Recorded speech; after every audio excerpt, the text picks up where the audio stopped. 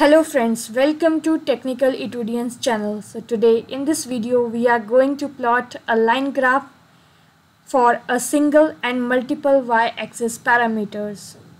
So this video is a complete step-by-step -step process video of writing a MATLAB code with which you can plot any line graph.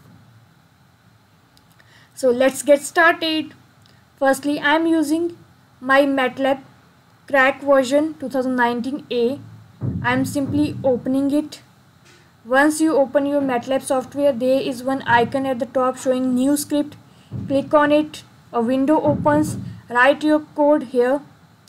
I'm using two variables x and y. X is my x axis parameter that is my fso range from 60 to 65 kilometers. Y is my y axis parameter that is my Q factor with respect to this FSO range. I am using a simple command plot for plotting my these two variables x comma y. I am using the color code where R denotes my color of the line graph that is red and my line width. So all these codes will be provided in the description uh, which you can refer while writing a MATLAB code and I'm using simply my X label and Y label as my range and Q factor. Legends is the values are generally of clear weather condition.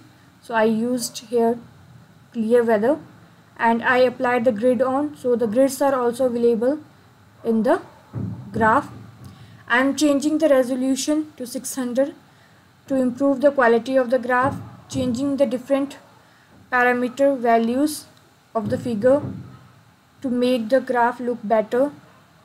I'm also increasing the size of legends and removing the minor grid lines. So this way you can make your graph look better and you can also save it directly in the MATLAB but since I required it so I just copy the figure in the word file along with the code. So whenever I require it just copy the code into the MATLAB and take my plots again.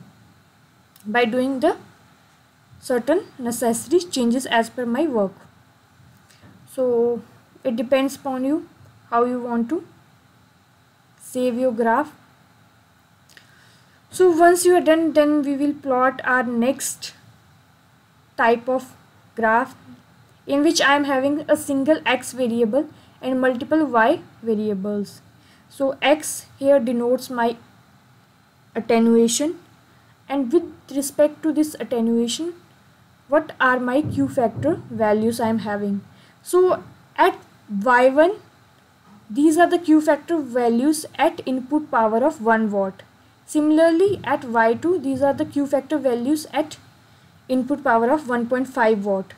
And y3 q factor values at input power of 2 watt. So i'm having single x and multiple y parameters. So i'm using the command log log x comma y1 and the color code and the line width. Hold on condition. And once i am done i will use the hold off condition.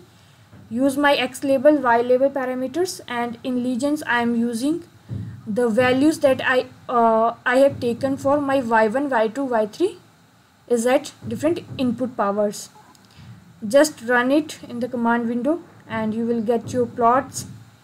Do the certain changes in the plot by improving its quality like changing its resolution changing certain size and formats of the graph here you are able to see the minor grid lines also. So i'm removing the minor grid lines. I'm just keeping the major grid lines in the graph.